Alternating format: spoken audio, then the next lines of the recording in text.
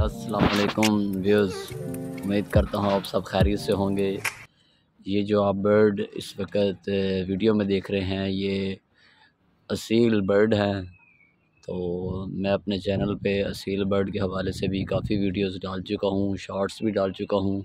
अगर आप मेरे चैनल पे जाके मेरा विज़िट करें तो आप देख सकेंगे। मुख्तलिफ़ इकसाम की जो सी हैं, असील के अंदर जो मुख्तलिफ़ ब्लड लाइन है, उनके वीडियोस मैंने अपलोड की हैं। तो ये मैं वीडियो बना रहा हूँ इस हवाले से। ये जो आप बर्ड देख रहे हैं, ये बर्ड्स आपको देख के पता लग जाएगा जो एक शिकारी है, जिसने असील बर्ड रखे हैं। ये शौकीन बंदा है। उसको पता लग जाएगा ये बर्ड्स देख के ये कितने अच्छे हैं। तो मैं बताना ही चाहता हूँ व्यूज़ इन, ये जो आप बर्ड्स इस वक्त देख रहे हैं, इन तमाम बर्ड्स को जो पेशावर की असील मंडी लगती है, ये उसके अंदर इनको ले लेके जाया जा रहा है और इसके बाद जो सा है, रावलपिंडी की जो सी है, असील मंडी जो सी है, उधर भी लेके जाया जाएगा।